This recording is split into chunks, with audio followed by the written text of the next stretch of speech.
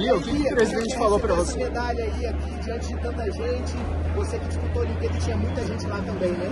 Ah, foi uma honra não só representar meu país nas Olimpíadas, ganhar essa medalha pra gente, mas hoje está sendo um dia muito glorioso, está sendo incrível, é, me sinto muito honrada em receber essa homenagem do Exército. Dia do soldado, a gente pode dizer que vocês são soldados do esporte, né? Sem dúvidas.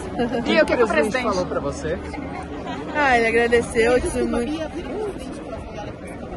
O que, que ele falou? Ele agradeceu, me deu muitos parabéns e ficou muito feliz pela minha conquista. E a importância do, de, de, participar desse programa do Exército para vocês ajuda muito como atletas? Sem dúvidas, é uma honra ser militar, é, é mais do que um incentivo nas nossas vidas e nos ajuda a focar simplesmente no esporte. Quer dizer, quem está aqui é a Sargento Beatriz Souza. Sargento Beatriz Souza. Você faz parte do programa desde quando? Desde 2018. E aí, Natinha, fala um pouco pra gente desse prêmio, sua homenagem Muito feliz, é motivo de muito orgulho estar aqui representando o Brasil e o Exército Brasileiro. Muito feliz, não tenho nem palavras nesse momento. O que, que o presidente falou para você? Ele falou que foi quase a medalha de ouro, mas que a gente chegou muito perto e que ele está muito orgulhoso de nós. Muito feliz. Esse ano, de 2024, esse. esse.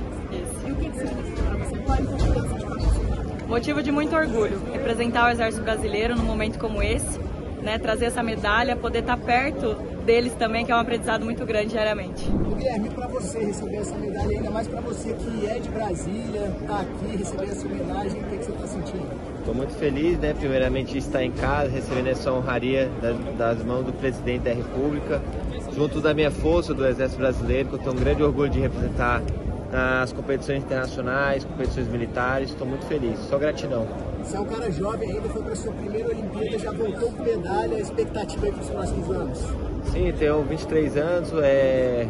agora é seguir para o próximo planejamento para 2028, que é meu grande objetivo, trabalhar esses quatro anos para conquistar uma medalha para o Brasil, que é meu grande objetivo. O que, que o presidente falou ali para você? Eu recebi as felicitações dele, agradecendo, e eu sou gratidão mesmo de ter recebido essa honraria aqui. Obrigada. Obrigada. Eu entrei no programa no PAR, programa de atleta de alto rendimento em 2019. Desde então tive grande evolução. Eu entrei lá uma pessoa e saí outra com os ensinamentos. Eu acho que o programa contribui muito no desenvolvimento do esporte nacional.